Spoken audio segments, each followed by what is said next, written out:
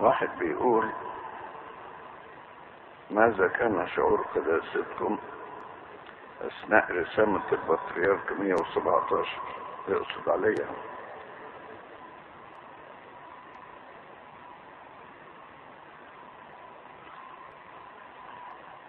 هو ربما البعض بيسأل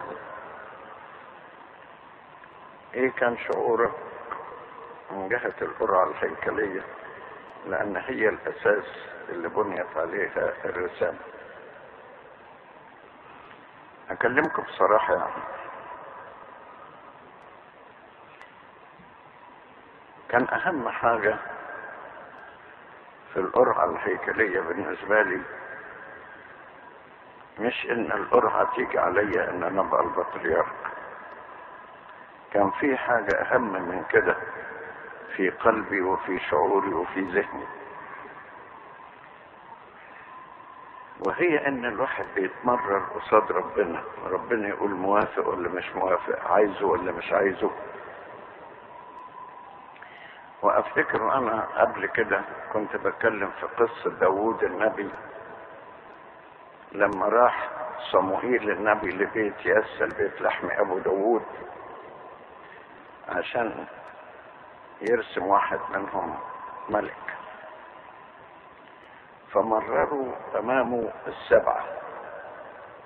فبقى يقول ربنا يقول لا مش عايز ده. لا ده مش عايزه. لا ده ما ينفعش. وكان موقف متعب جدا. الواحد يتمرر قصاد ربنا وبعدين ربنا يقول عايزه ولا مش عايزه ينفع ولا ما ينفعش. دي أخطر بكتير جدا من رأي الناس.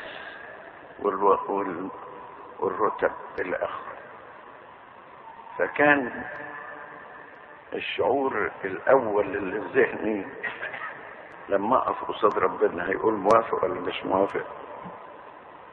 أدي المشكلة. ولو قال مش موافق هواجه الناس إزاي؟ اللي بقعد اوعظهم وأكلمهم لما يقولوا لي ربنا قال مش موافق أقول إيه؟ دي المسألة اللي كانت في عمق شعوري ونمرة واحد اديني قلت لكم اعترافاتي.